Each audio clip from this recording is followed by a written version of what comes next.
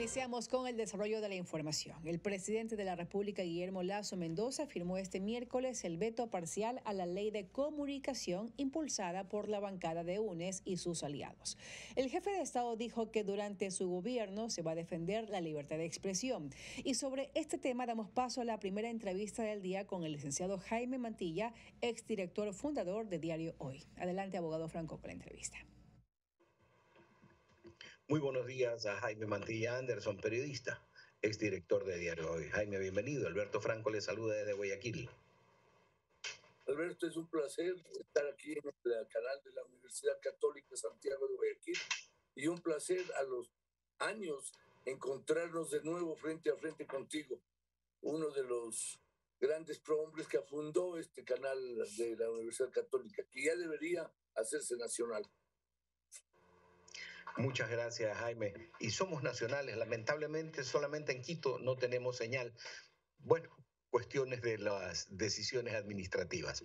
Jaime, entrando de lleno en nuestro tema, como analista de la realidad, ¿cómo interpretas el veto parcial del presidente a la ley de comunicación? El periodismo de modo general se había pronunciado por un veto total, pero corríamos el riesgo de que en un año se ratifique la Asamblea más aún viendo el camino político asumido por el presidente.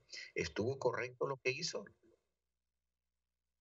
Desde hace algún tiempo yo me he inhibido de opinar respecto al veto eh, parcial o completo de la ley, porque desde un principio yo soy eh, contrario a la existencia de una ley de comunicación. Una ley de comunicación no debe existir esto es algo interno de cada medio e interno de cada ciudadano. La ley debe permitirle al ciudadano tener pleno acceso a la información general. Eh, y eso es un derecho humano. La ley no requiere defender ese derecho humano. Creo que lo que sí se requiere es una ley de transparencia, una ley de libre acceso a la información por parte de toda la ciudadanía. Los periodistas simplemente somos una herramienta de la ciudadanía para poder eh, profundizar en eh, los hechos sociales. Sin embargo, al analizar esa ley, me parece bien que eh, la mayoría de los gremios periodísticos este, hayan estado a favor de un veto total, aunque luego de las explicaciones que yo he leído ya en el universo, por ejemplo, está claramente demostrado que si es que se hacía un veto total, se corría el peligro de que un año más tarde se pueda volver a tratar. Y lo que se necesita es de una vez limpiar totalmente los impedimentos que existen para que la ciudadanía tenga plena libertad de expresión y no corra peligro de cuando hace una seña o se mueven en algún sentido, eh, la autoridad le castigue. Me parece una barbaridad que se trate de graduar la opinión o que exista ascensores dentro del gobierno. Eso parecía que volvíamos a la ley Mordaza. Yo sigo insistiendo, los 34 artículos que ha negado y los 17 que los manda para la consulta constitucional hacen ver que es muy interesante esta posición del gobierno. Creo que la ha analizado más a fondo de lo que muchos de nosotros lo hemos hecho. Coincido totalmente contigo, Jaime, porque el haber vetado por inconstitucionalidad una parte de la ley parecería que puede asegurar de que la Corte Constitucional, al observar los, eh, las sentencias que ya ha expedido, se encuentre prácticamente obligada a aceptar dichas em, observaciones inconstitucionales. ¿Qué piensas? Totalmente de acuerdo, Alberto, totalmente de acuerdo. Aunque sigo insistiendo que lo ideal sería no tener ninguna ley. Sin embargo, al tener ya esta, este veto y al poner las condiciones del presidente, se facilita la labor de la ciudadanía. Yo siempre hablo, creo que no tenemos que hablar mucho de que la ley de comunicación protege a los periodistas, protege a la ciudadanía. Yo vuelvo a insistir, es el periodista el instrumento por el cual la ciudadanía puede conocer, puede expresarse, etcétera. De ahí que lo que es fundamental es una gran formación al periodista. ¿Cómo funcionan? Porque una de las críticas que de parte de la izquierda especialmente, que dice que los medios no somos capaces de autorregularnos o de regularnos.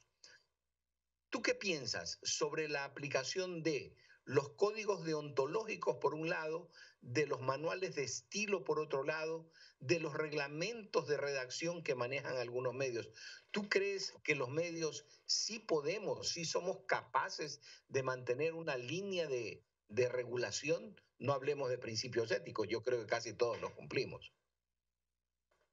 Yo creo que los medios de información tienen un fundamental objetivo, ser creíbles, que la ciudadanía, que el lector, que el televidente nos crea. Ese es el corazón de la buena información. Si además esa información se maneja por parte de periodistas honestos que puedan simplemente ir buscando la verdad, que no existe total, ir buscando la verdad en contexto, yo creo que el periodismo tiene ahí su razón de ser. En ese sentido, el, eh, la autorregulación es vital. Es vital. Es que en cualquier, en cualquier, no hablemos negocio, en cualquier actividad, la autorregulación se aplica al hombre y a las personas y a las entidades honestas.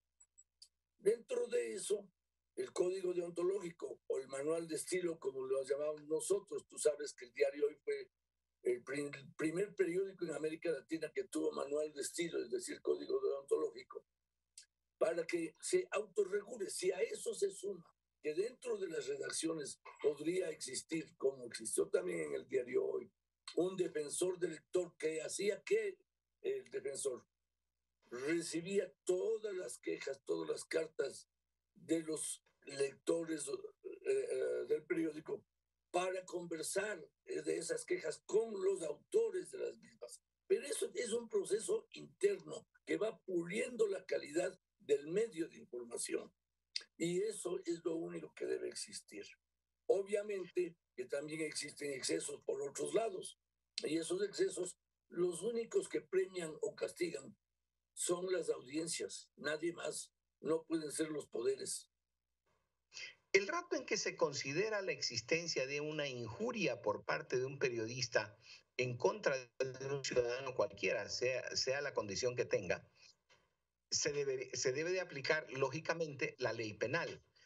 Pero es necesario en un momento dado querer implantar como lo hizo la mayoría de la asamblea en esta ocasión, especialmente los de, un, los de eh, la bancada correísta, de querer reimplantar una especie de supercom a través de la Defensoría del Pueblo?